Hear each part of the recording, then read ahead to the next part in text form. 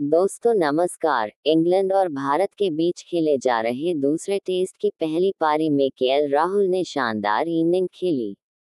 राहुल ने शानदार शतक लगाते हुए 250 बाल्स पर एक सौ उनतीस रन बनाए।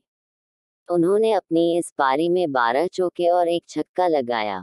इस पारी में राहुल का स्ट्राइक रेट 51.6 का रहा।